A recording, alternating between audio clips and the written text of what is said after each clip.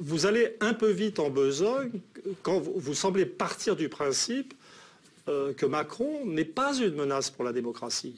Il y a un risque pour la démocratie avec le Front National, et je pense tout à fait qu'il y a un risque pour la démocratie avec Macron, parce que si Macron, si les gens d'en haut arrivent à faire élire euh, leurs choses à nu, c'est-à-dire sans prétendre, mais ils vont avoir une tête comme un chou-fleur. Tout va être permis. Tout va être permis.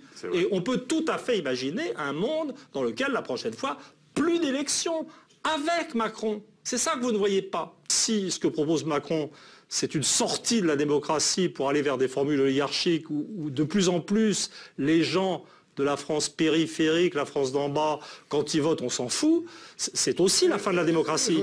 Voter Macron, c'est l'acceptation de la servitude. C'est-à-dire la soumission, effectivement, pour le coup, à un système de pouvoir téléguidé par les inspecteurs des finances, la haute administration, le système bancaire, dans un état d'esprit de soumission absolue à l'Allemagne. Moi, je ne me soumettrai pas. C'est-à-dire, c'est-à-dire, ça passe ou ça casse. C'est-à-dire, pour être clair, vous vous, vous, abstenez en prenant le risque. Ça, ne me gêne pas du tout, mais c'est fondamentalement parce que je pense qu'on est au début d'une crise historique.